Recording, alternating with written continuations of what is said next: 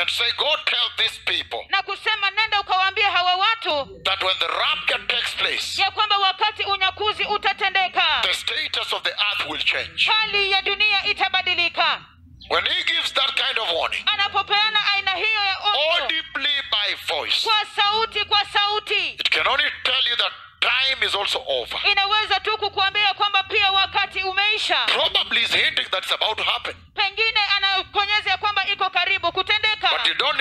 Genius to understand or to know that it is about to happen. lakini hauhitaji kuwa msomi ili kwamba upate kuelewa ya kwamba iko karibu kutendeka And so, what is the Lord saying na kwa hivyo je bwana anasema in that conversation? katika mazungumzo hayo Listen very well, blessed people. sikiliza vyema kabisa watu wabarikiwa The Lord Yahweh bwana yawe is very compassionate yeye ni wa huruma sana and very concerned na yeye anajali kabisa about this generation. kuhusu hiki kizazi. And so, what he's saying is this na kwa hivyo kile ambacho anasema ni hiki. that complacency will be dangerous, ya kwamba mazoea yatakuwa hatari. Will be absolutely deadly. yatakuwa ya kufisha kabisa. That if anybody will not hear the announcement that these two prophets are giving to the earth,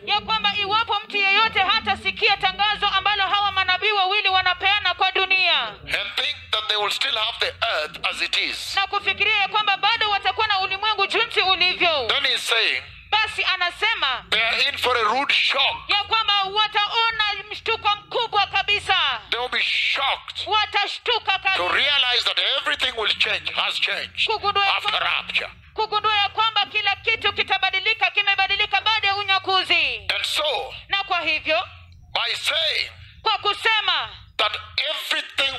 change. Ya kwamba kila kitu kitabadilika. When the rapture does take place, wakati unyakuzi utatendeka. then the Lord is simply saying kwa hivyo bwana kimsingi anasema that the current environment you see on the earth ya kwamba